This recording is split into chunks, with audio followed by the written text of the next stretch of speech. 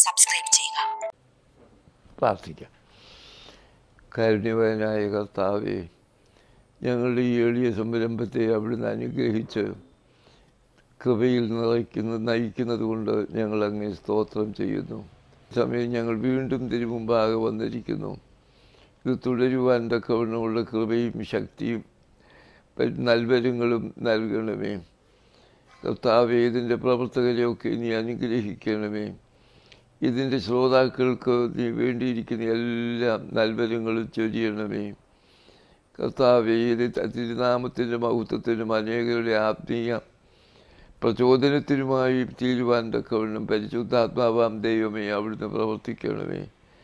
ഞങ്ങളുടെ ആരുടെയും മഹു പുകഴ്ചയ്ക്കോ പ്രശംസയ്ക്കോ അല്ല അവിടുത്തെ മഹത്വത്തിനും നിന്റെ മക്കളുടെ നന്മയ്ക്കും പ്രയോജനത്തിനുമാക്കി തീർക്കണമേ. ഇപ്പോഴും എപ്പോഴും തിരുനാമത്തെ സ്തുതിച്ച് സ്തോത്രം ചെയ്യുവാനായിട്ട് തന്നെ. ആമീൻ. ത്രിയേക ദൈവത്തിന്റെ മഹത്വം ഉണ്ടാവട്ടെ. ഗോഡ്സ് ഓൺ ടി വിയുടെ മാന്യ പ്രേക്ഷകരായ എല്ലാ സഹോദരികൾക്കും എന്റെ ഹൃദയംഗവുമായ സ്നേഹ അഭിവാദനങ്ങൾ. ഞാൻ ഒരു വർഷം യെ- യെരൂശലേമിൽ ഉണ്ടായിരുന്നതാണ് ഇസ്രയേലിന്റെ എല്ലാ ഭാഗത്തും സഞ്ചരിച്ചതാണ്. ഭവനങ്ങളൊക്കെ ആധുനികമായിരിക്കുന്ന എല്ലാ സംവിധാനങ്ങളോടും കൂടി ഉള്ളതാണ്. ഇന്ന് അവർക്ക് ഏറ്റവും പണവും സ്വാധീനമുണ്ട് ഇത് കഥ പറയുന്നത് ഈ കർത്താവിന്റെ കാലത്ത് രണ്ടായിരം വർഷം മുമ്പുള്ള കാര്യത്തെ അവസ്ഥയാണ് നമ്മൾ ഓർക്കേണ്ടത്. അല്ലാതെ ഇപ്പോഴത്തേതല്ല. അപ്പോൾ ആ വീട്ടിൽ ശരിയായ വെളിച്ചമില്ല. അതുപോലെ തന്നെ താഴെ സിമെന്റ് ഒന്നും അല്ലിട്ടിരിക്കുന്നത് മണ്ണ് കൊണ്ട് പൂശിയിരിക്കുന്നതാണ്. അപ്പോൾ അവിടെയെല്ലാമാണ് ഈ സ്ത്രീ നോക്കുന്നത് അന്വേഷിക്കുന്നത്. അവിടെ നമുക്ക് കാണുവാനുള്ള ഒന്ന് കാണാതെ പോയതിനെ പറ്റിയുള്ള തീക്ഷ്ണമായ അന്വേഷണം ദൈവത്തിന്റെ സന്നിധിയിൽ നിന്നാണ്. അത് തന്നെയുമല്ല ഈ നാണയത്തിൽ ഒരു രൂപമുണ്ടെന്ന് ഞാൻ പറഞ്ഞല്ലോ. ആരുടെ രൂപമാ? രാജാവിന്റെയും അതുപോലെ തന്നെ മുദ്രയും രൂപവും മുദ്രയും ഉണ്ടെന്ന്. ഇത് നമ്മളെ സംബന്ധിച്ച് എത്രയോ ശരിയാ ദൈവത്തിന്റെ രൂപത്തിലാണ് നമ്മെ സൃഷ്ടിച്ചത്. അപ്പോൾ ഈ നാണയം നമ്മളെ പ്രതിനിധീകരിക്കുന്നു. ആ നാണയം നമ്മുടെ അനുഭവ അവസ്ഥയാണ്. അത് ദൈവത്തിന്റെ സ്വരൂപമാണ്. ദൈവത്തിന്റെ മുദ്ര പതിച്ചിട്ടുള്ളതാണ്. അത് കാണാതെ പോകുന്ന സമയത്ത് ദൈവം തന്നെ അന്വേഷിച്ചു വരുന്നു എന്നുള്ളത് അതിന് മാത്രമുള്ള ഒരു ദൈവത്തിന്റെ സന്നിധിയിൽ നിന്ന് വരുന്ന അന്വേഷിച്ചു വരുന്ന അനുഭവത്തെയാണ് നമുക്ക് ഇവിടെ ഓർക്കുവാനുള്ളത്. ഇവിടെ പഴയ നിയമത്തിൽ നമ്മൾ പറഞ്ഞല്ലോ യഹോവയെ കണ്ടെത്താകുന്നത് അങ്ങോട്ട് അന്വേഷിച്ചു പോകുന്ന അനുഭവമാണ് പഴയ നിയമത്തിലുള്ളത്. അതുകൊണ്ട് പറയുന്നു യഹോവയെ കണ്ടെത്താകുന്ന സമയത്ത് അവനെ അന്വേഷിപ്പീൻ അവൻ അടുത്തിരിക്കുമ്പോൾ അവനെ വിളിച്ചപേക്ഷിപ്പീൻ. അവൻ അവനോട് അവൻ കരുണ കാണിക്കും എന്ന് യശിയാവിന്റെ പുസ്തകത്തിൽ നമ്മൾ വായിക്കുന്ന കാര്യമാണ്. അപ്പോൾ നമുക്ക് ദൈവത്തെ വിളിക്കുന്ന കാര്യമുണ്ട്. ദൈവം നമ്മളെ താല്പര്യത്തോടും കേൾക്കും. എന്നാൽ ദൈവം നമ്മളെ അന്വേഷിച്ച് വരുന്നു എന്നുള്ളത് ഇവിടെ പ്രത്യേകം ശ്രദ്ധിക്കേണ്ടതാണ്. ആ സ്ത്രീ എന്താ ചെയ്തത്? അവൾ വിളക്ക് കത്തിച്ചു. ആ വിളക്ക് പ്രകാശം ചൊരിയുന്നതാണ്. അതുകൊണ്ടാണ് അവൾ അന്വേഷിക്കുന്നത് വീട് മുഴുവനും പ്രത്യേകിച്ച് രാത്രി ആയതുകൊണ്ടല്ല വിളക്ക് കത്തിച്ചത്.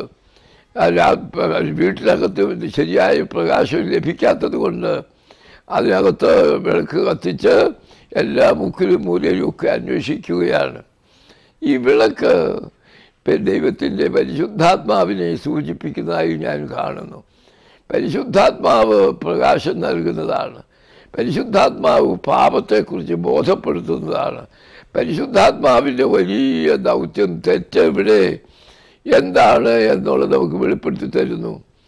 ആ കർത്താവ് തന്നെ പറയുന്നുണ്ട് അവൻ വരുമ്പോൾ അവൻ പാപത്തെക്കുറിച്ചും നീതിയെക്കുറിച്ചും ന്യായവിധിയെക്കുറിച്ചും ബോധപ്പെടുത്തും. അവൻ എന്ന് പറഞ്ഞിരിക്കുന്ന ആരാണ്? പരിശുദ്ധാത്മാവാണ് he's a person holy spirit is a person not simply a power or energy പരിശുദ്ധാത്മാവ് ഒരു വ്യക്തി ആളത്വമാണ് തൃത്വത്തിലുള്ള ആളത്വം ആ പരിശുദ്ധാത്മാവ് വന്നിട്ട് നീതിയെക്കുറിച്ച് പാപത്തെക്കുറിച്ച് ബോധപ്പെടുത്തും. അപ്പോൾ ആ വെളിച്ചം വിളക്ക് കത്തിച്ച് നോക്കുന്നത് ഹോളി സ്പിരിറ്റിന്റെ വലിയ പ്രവർത്തനമാണ്. എവിടെയാണ് നഷ്ടപ്പെട്ടിരിക്കുന്നത്? എന്നുള്ളത് പാപം നമുക്ക് ദൈവത്തിൽ നമ്മളെ അകറ്റുന്നതും പാ ദൈവത്തിന്റെ കൃപയിൽ നിന്ന് മാറിപ്പോകുന്നതും എപ്പോഴാ? പാപം ചെയ്യുമ്പോഴും പാപത്തിന് അടിമയായി തീരുമ്പോഴുമാണ്. അത് നമ്മൾ പലപ്പോഴും തിരിച്ചറിയത്തില്ല.